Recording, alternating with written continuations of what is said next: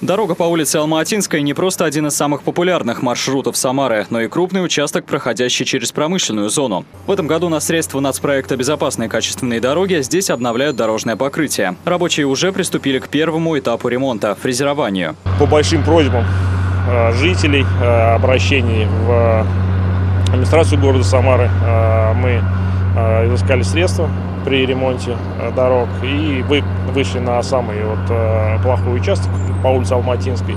В этом году сделаем участок от Московского шоссе до Старозагора, а в следующем году продолжим ремонт от Старозагора до улицы Металлургов. Профильные службы ремонтируют участок Алма-Атинки от Московского шоссе до улицы Старозагора площадью в 14 тысяч квадратных метров. За прошедшую смену дорожные рабочие справились с фрезеровкой уже половины маршрута. Укладывать новый асфальт начнут после восстановления бортового камня. Дорожный ремонт здесь синхронизирован с большим проектом по строительству ливневого коллектора, в процессе установки которого были убраны некоторые элементы благоустройства. Трудится, как правило, в ночную смену, чтобы не мешать движению транспорта. Специалисты планируют полностью справиться с фрезеровкой за две ночи. Данная машина выполняет фрезерование верхнего слоя асфальтобетонного покрытия, исправляя продольный поперечный профиль. Задаем нормативные уклоны, поперечные и продольные.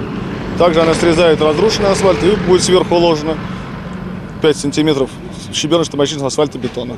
В целом, в этом году на средства национального проекта «Безопасные качественные дороги» в Самаре планируют отремонтировать свыше 35 объектов. В настоящий момент работают на трех участках. Полностью завершить ремонт планируют к 1 сентября. Михаил Ермоленко, Константин Головин. События.